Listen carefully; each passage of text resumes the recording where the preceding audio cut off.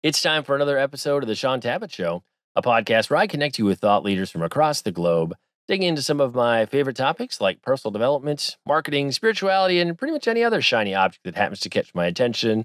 Today, my special guest is Jonathon Seidl, and we're going to be discussing his new book, Finding Rest A Survivor's Guide to Navigating the Valleys of Anxiety, Faith, and Life. Jon, it is truly an honor, sir. Welcome to the show. Thank you, thank you, thank you for having me. What a great, uh, what a great introduction. And hopefully, I don't know what bucket do I fall in. Do I fall into shiny object? Maybe spirituality. I guess we'll see. Yeah, well, you know, we'll we'll try to ride that fence between shiny objects, spirituality, and just make it fun for the whole family and folks of uh, all interest levels, I guess. Uh, this is the first time you and I are meeting. I know you're going to be brand new to most of my audience, so let's kick this off by having you share a bit of the Jonathon Seidl origin story. So, for all of us meeting you for the first time in our talk today, give us a few things we need to know about you.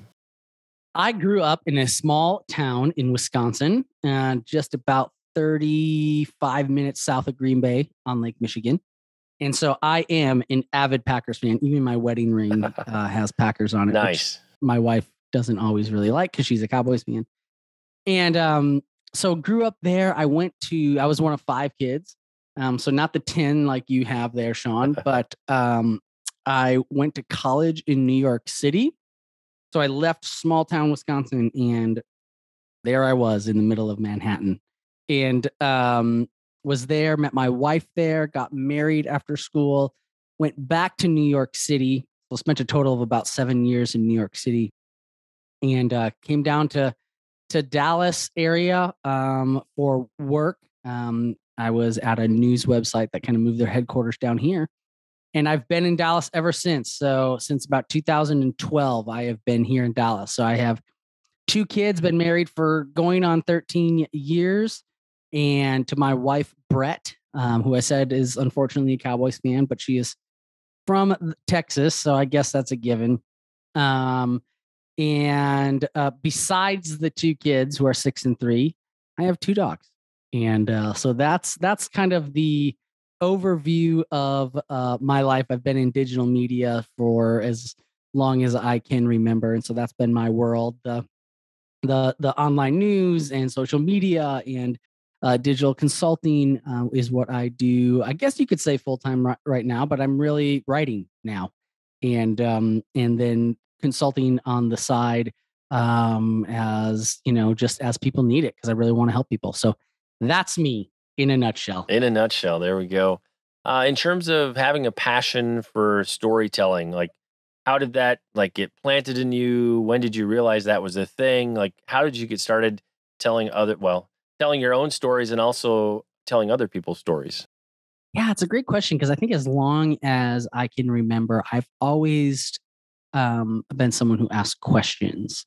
And so, in fact, uh, uh, this was a few years ago, but um, some buddies and I spent a weekend in New Orleans and we were driving back and um, I was just just talking to my friend, you know, and uh, he stopped me. He goes, "Has anyone ever told you you ask really good questions?" and I said, "I don't know. I just I'm curious, right?"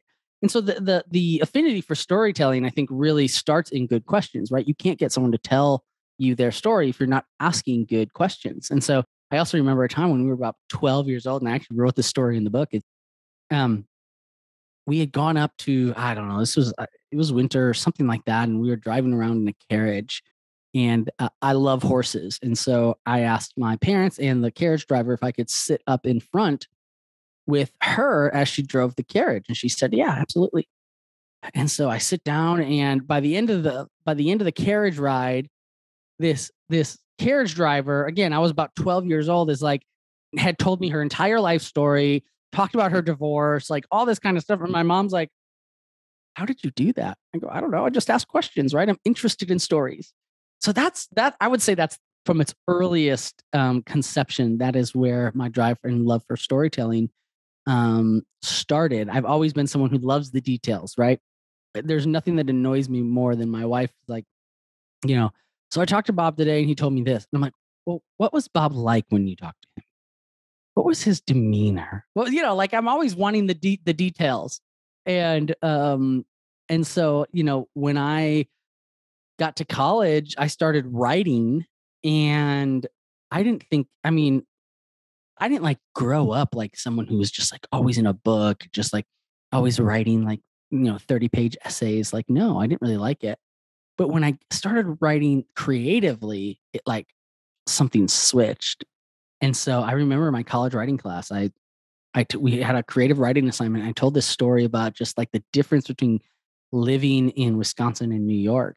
And my college writing professor said, um, this is really good. I was like, oh, really? I, I didn't know it was really good, you know? He's like, no, it's really good. And lo and behold, I sent it to my hometown paper in Wisconsin and they're like, this is really good. Can we publish this? And I'm like, sure. And so I got published, you know, as a freshman in college. And I was like, wow, that was pretty cool. you know, I think I want to tell stories for a living. It still took me a little bit. You know, I grew up wanting to be the press secretary of the United States. Like that was my ultimate dream and goal. Now you can probably pay me enough money to do that.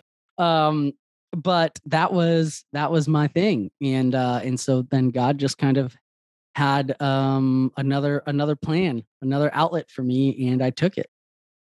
Talk to us a little bit about anxiety and OCD and creatives, because like all of my friends are authors and creatives just about a, a, of one stripe or another and I, I just i can think of i could like list out 10 or 15 of them that they they struggle with anxiety they're very ocd about things what, what, is there a correlation there i don't know if it's i, I don't want to like draw i'm i'm, I'm trying much. to force you to paint with a very broad yeah. brush well but here's what i will say here's what i'll say and i talk about the, this in the book is that my anxiety and ocd like God has been faithful enough to redeem them in multiple in multiple ways, right? Amen. And one of those ways is the fact that I am someone that people love to work with, right? I am someone who, when I do get a, a creative thought in my head, you know, think about it, there, there's a lot of people who have creative thoughts in heads, right? Or creative heads, creative thoughts in their head, right?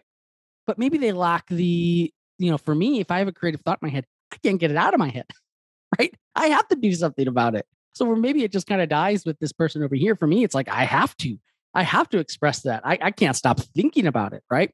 I can't, I you know, I ask what if, what if I don't get this out? What will happen? You know? Um, and so I think that we, the anxiety and OCD sufferers tend to be really um uh, tend to be people who have to express themselves, have to get that out, and then tend to be people who not not just meet but exceed deadlines you know, uh, when I was working with Kirk Cameron, it's like, you know, he would ask me for a presentation on something, you know, and and I would give him this like beautiful, you know, Mac created on a Mac. That was that's a that's a wink to you, Shaun, uh, since we were talking about that off air. And um and it would be awesome. He'd be like, "Oh my goodness, this is beautiful!" Right?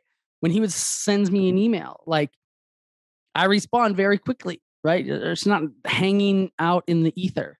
Um, so I think there are actually uh, examples of how people who are who do struggle with these uh, these things tend to be really good workers. And there's actually a really great book that I quote and mention in my book called The First Rate Madness, and it talks about how people with mental illness tend to be some of the best leaders and explains why. So, yeah, so many of the people I know who are up on stages or doing amazing work, if you get to know them and get into their backstory, there's always something really interesting and unique there. People often don't get to those uh, high levels of creativity or accomplishment without walking through difficult valleys. It's just part of the journey.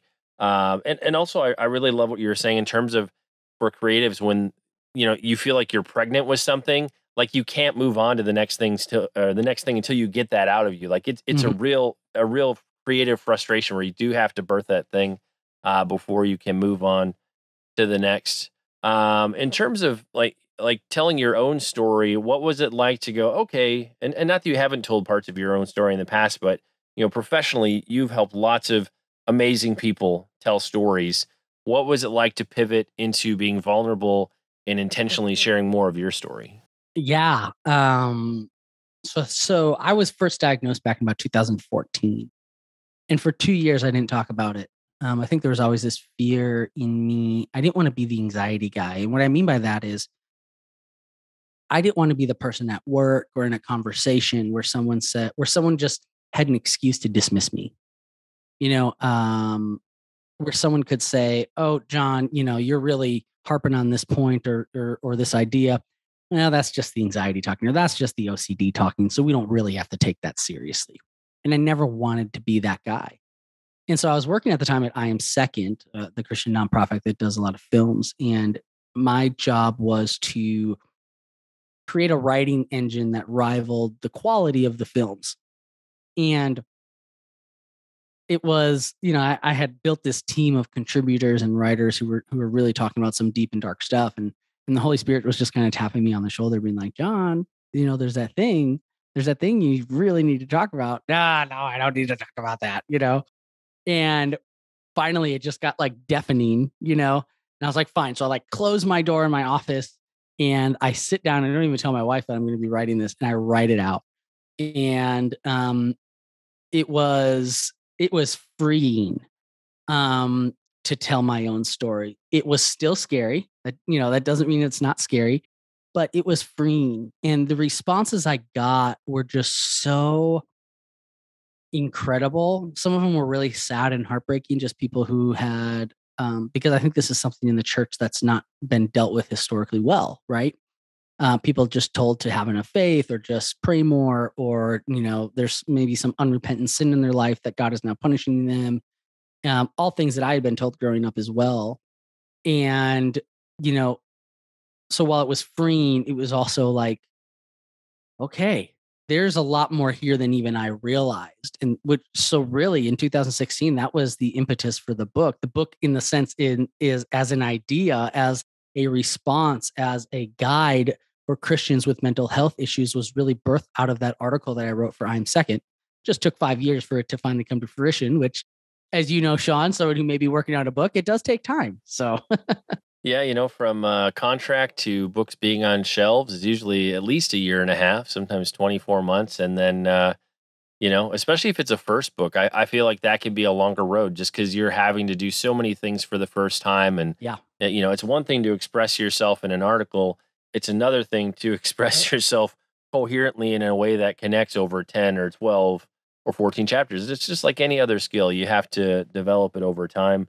Um, in, in terms of, I guess I, would like to pull a little bit more on the the identity thread of, um, you know, sharing about the anxiety. Because on the one hand, you know, you said you you were worried about, you know, what what people might think or how they might treat you, but like, I guess, bring us a little bit into that tension between you having to like own that as part of your identity but also not wanting other people to label you because I feel like those were kind of two competing tensions a bit with what you just shared. Yeah, yeah, especially especially in the beginning. I think right now I've just I've become so comfortable with like I'm doing I'm walking in what I know the Lord has called me to do. So if someone wants to call me the anxiety guy, great, you know, put it on a business card. Um that's fine. Um but I think it was it was more so a fear of of the stigma. So when I talk about a fear of being labeled, it's more a fear of the stigma. You know, I I talk about in the book just just growing up and just kind of what the views on mental health were around my family um, and in the church and the churches that I was brought up in. But it was it was this idea that you were you were not you're you're kind of a less than Christian, right?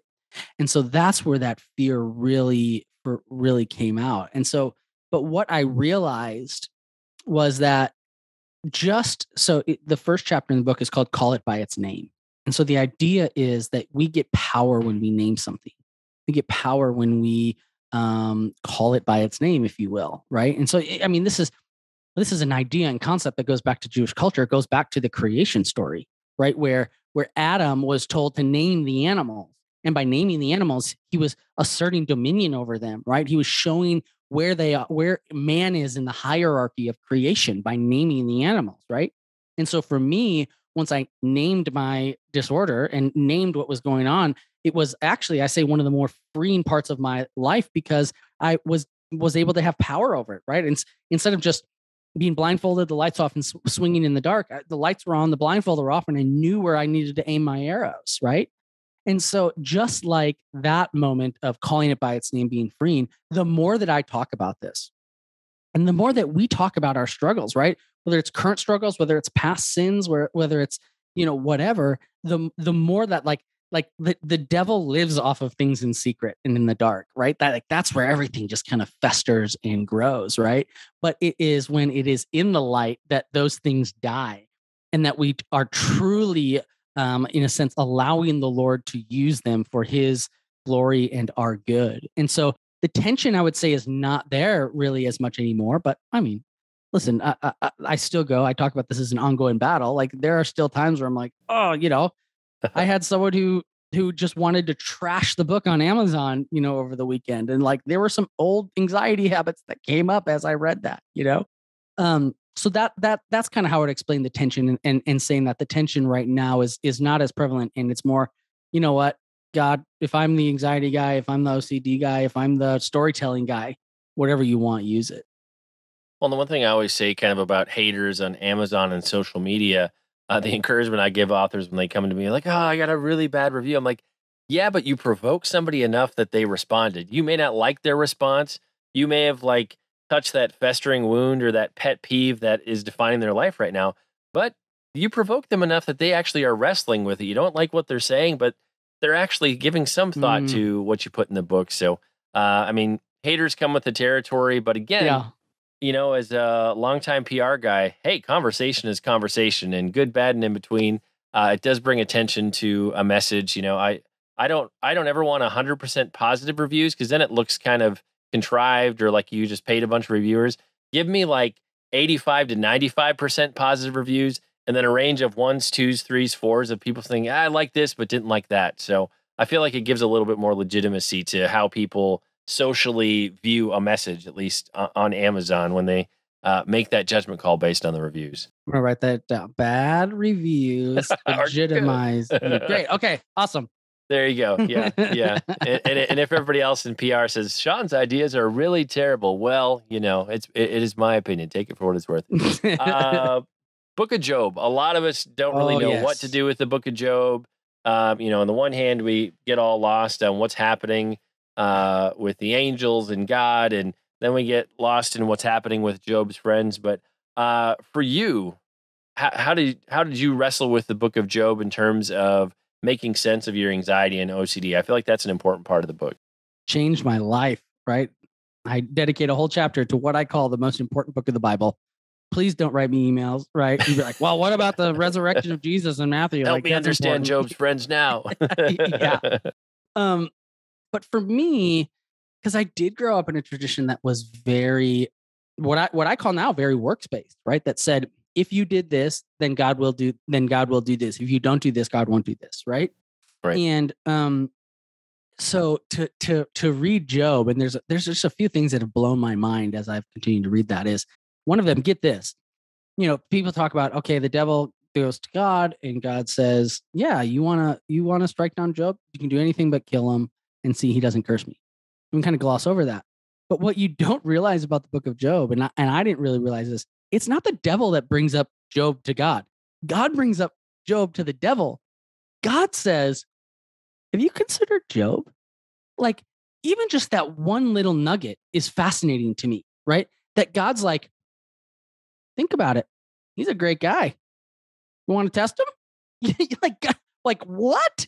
Holy cow! You know, so little nuggets like that. You know, the other nugget is, um, as Job goes through and struggles, that God reserves the harshest uh, judgment for Job's friends who said, "Job, you did something to deserve this," and and and God, and God's like, I think I think he even says my my anger is burned against you uh, to to Job's friends, right? So that's the second thing. No, the harshest judgment in Job was reserved for those who said it's your fault. You've done something to deserve this.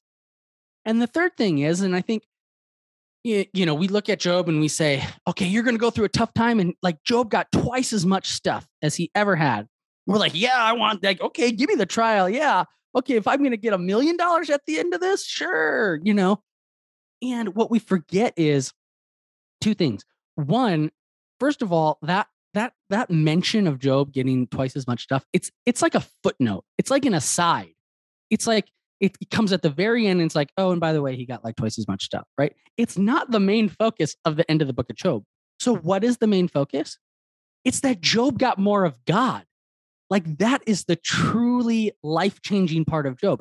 In his struggle, it brought him closer to God it brought him closer to the realization that by the way god never answers job why he why he allowed this you know job that Job 42 is some of the most beautiful, most poetic writing, I think, in the entire Bible. Where were you when I laid the foundations of the earth? Where were you when I separated the seas from the land? You know, and it's just beautiful, right? And so in his struggle, he's brought closer to God. And in the end, it gets a more rich and vast understanding of who God is. And that relationship is incredible. And oh, by the way, he also got this, right? So those three things have been just life changing for me, understanding that, hey, God will allow things to happen to us, right? I mean, you look at Paul, you look at the thorn in the flesh, right? And it's like, he prayed. You, you think Paul didn't have enough faith for that to be removed? And whether, you know, I know there's like, was it a physical thorn? Was it a spiritual thorn? I don't care. It was a thorn, right? And so, like, Paul prayed for this to be removed, you know, um, and it wasn't. And so, there's something that I tell people that I think is foundational to the book. One is it's a proper theology of suffering. And what that means is we have to learn to not judge God by our circumstances, but judge our circumstances by who we know God to be. If we know he, He's loving, we know He's working all things for, for our good in His glory. It's not some evil, bad God up there.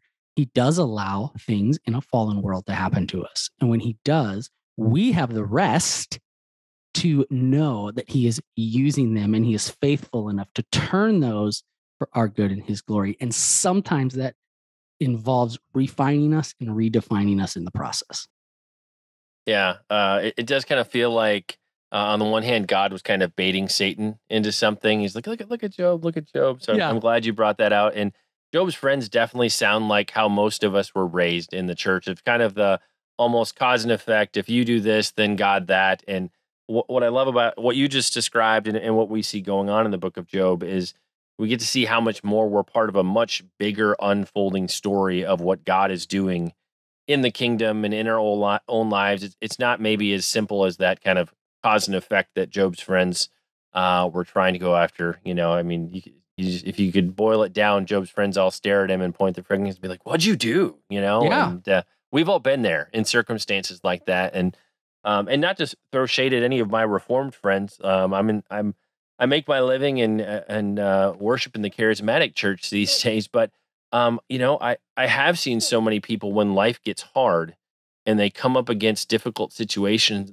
and they're like, "But God, I've I've I've I I, I signed the card. I've checked all the boxes. I've done all the right things." And um, you know, like, "What God? Why are you judging me? Why are you destroying my life?" Like uh, that's where I feel like, um, you know, that's where theology and worldview really matter for how we process how we wrestle and i feel you know like like looking at something like the book of job maybe to pull back and get a broader context of what's what can be happening uh can be really helpful uh so just throwing Yeah. that out there any Yeah. any thoughts or response to that No, yeah, I think, you know, one of the things that I talk about is there's a difference between God allowing and God causing, right? Mm, it's good Um, a good God cannot cause evil. He can't, right? Then he's not a good God, right?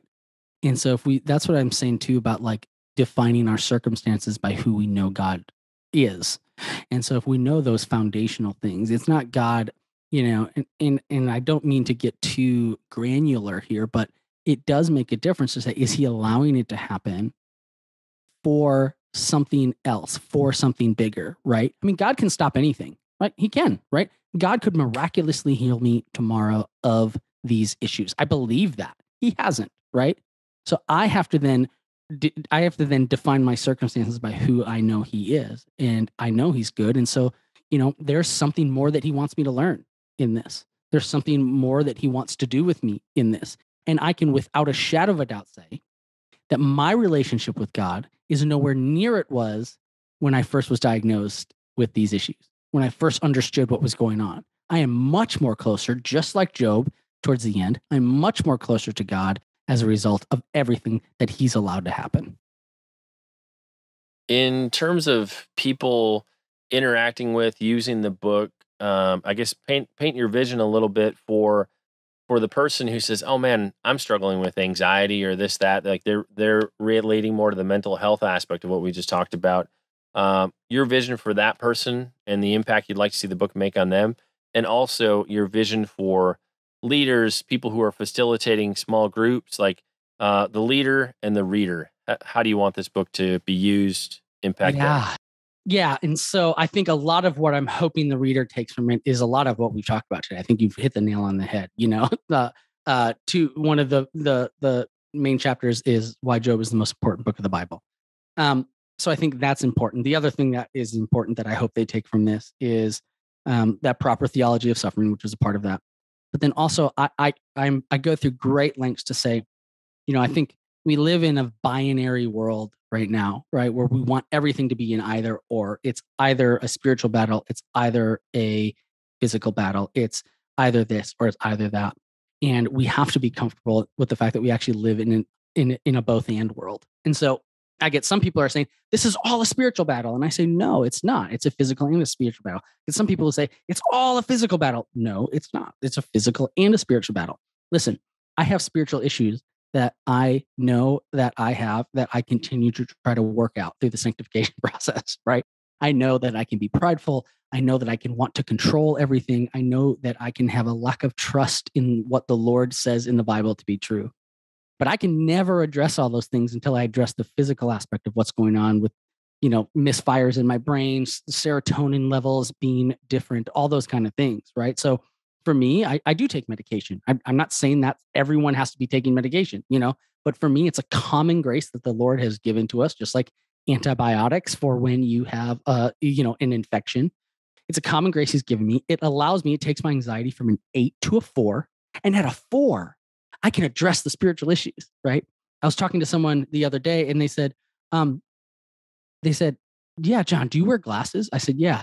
He goes, It's kind of like, you know, someone telling you to read the Bible and without your glasses, you can't read it.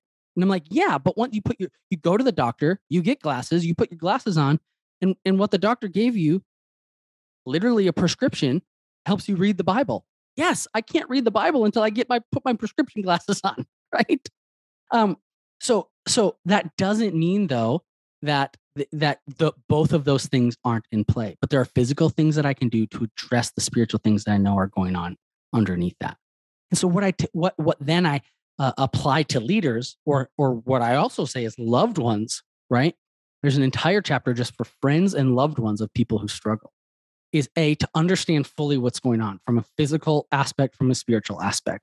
So I write an entire chapter to you dedicated to those things, as well as then telling you, hey, these are these are words that are that are really hurtful to people when they're going through anxiety. These are really hurtful words for people when they are going through OCD. Like, don't tell me to just get over it already. Like, I want to get over it. Trust me. I it's it's spinning in my head. I really do want to get over it, right? But that's not helpful, right? So what is actually helpful? And so that's that chapter in the book that that I have, you know, I mean, I thought it was going to be helpful. That's why I wrote it, but I have been just blown away by even just a message I got yesterday from uh, a wife who said, "You helped my husband finally put a name to what's going on, and now I finally have a way to relate to him." Um, and that's been just a really special treat.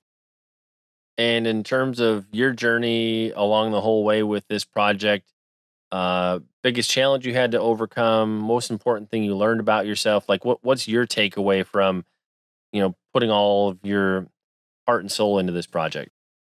So I make a point to say, listen, this is an ongoing battle for me, right?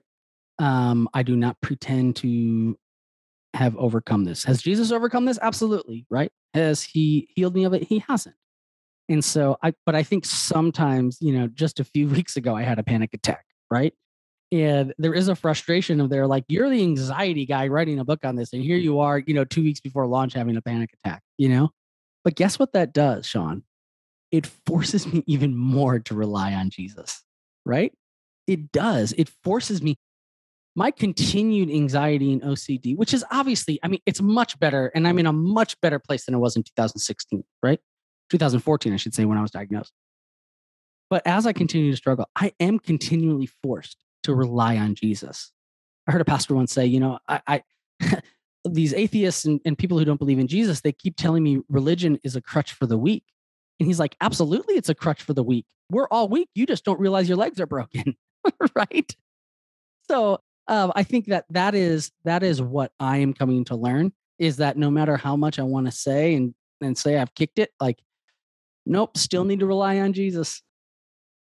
Well, and to some degree, I would say that's kind of a, a grace because one of the things I always say is if an author is having to live out their own message or turn back to what they're encouraging others to go after or follow, that gives me a lot of confidence that this book can actually help me mm. or can actually help my friends. So just hearing you say that this is an ongoing battle and you're literally having to turn back to what you're encouraging others to go after in the book to function and keep moving forward, that says to me that this is a book that can really help other people. If if you were saying, "Yep, my problems are all solved. My life is perfect. Yeah, yeah, I wrote this two years ago, but I, I barely remember what it's about. That's not helpful. But if if it's like a, a tangible, meaningful difference in your life day to day, then that, that's proof in the pudding that this book can help other people. Mm. Thank you. That means a lot. And that's a really good point. well, and, and, and that's the thing you got to wrestle with. You kind of alluded to this earlier in the interview. Just you're like, oh man, do I need to be the this guy or the that guy? I mean, that, that's mm-hmm. something I actually warn authors about a lot. It's like, okay, you're going to write about this. Just know that you're signing up to be the poster boy or poster girl for that topic. And everybody who meets you is going to expect that this is how you live your life, that you're maybe an authority here, or, mm-hmm. you know, you're the walking embodiment of this message. So don't take lightly, you know, God, God may be asking you to write this, but it, like it's an assignment to, to really steward well. And so, um, I, I love that balance of of what you've stepped into in terms of the book, and then just that you're still having to live out the message. Um, that's a powerful thing. So, mm. anyhow, well, yeah, I appreciate that, and I like I, you know, uh, again, in one of those bad Amazon reviews, they're like, "Oh, I can't believe Seidl says that he still struggles with it," and I'm thinking, "You're why I wrote the book, person. Like that's exactly why I wrote the book because people who uh pretend like it's all and, and again i want to be careful there. There are people who have been miraculously healed right. and i will and i will celebrate that. My god is a god of miracles. I know he can do it right? But more often than not what i'm finding is that this is an ongoing battle for a lot of people and the majority of people who are trying to figure out how to fight this it's an ongoing battle. And so that's what i that's what i say is like me and you are friend sitting down to have a conversation about that and here's what i have learned and here's what the lord has taught me and i pray it is useful and helpful to you and Jon, in terms of people connecting with you, finding out more about the book, where do we discover you on the web? You can go to findrestnow.com. That will give you all the ways that you can buy the book from Amazon to Walmart to Barnes and Noble to Target. Um, it'll it'll show you all the ways. If you want to put it in a bulk order, I would not be upset. But uh, findrestnow.com is where you can go. And like we do with every episode, we'll have links in the show notes to places where you can connect with Jon and pick up your very own copy of his new book. It's time to bring this episode of the Shaun Tabatt Show to a close. Many thanks for being a part of my conversation with Jonathon Seidl. Once again, our book today was Finding Rest, a survivor's guide to navigating the valleys of anxiety, faith, and life. And Jon, I just want to say thank you so much for sharing with us today. It's been an honor and a pleasure to have you on the show. Thanks, Shaun. Anytime.